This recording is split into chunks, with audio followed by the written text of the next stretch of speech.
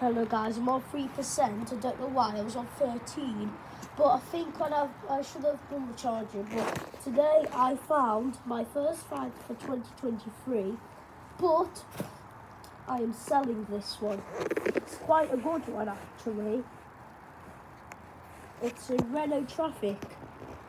Now, it's a nice find to start the year off. But I'm um, selling it.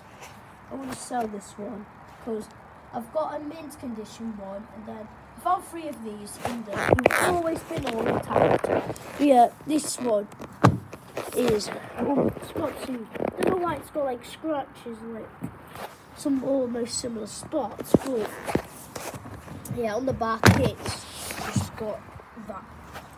So yeah, this I'm just gonna wash it up and that. It was um if I get the video sent over to me again, I will upload it like the colour therapy. I'll do that. I've, I've took it off today. I don't. I'm gonna hang it back up though after this. But yeah, it's in really good condition, but it's not a key.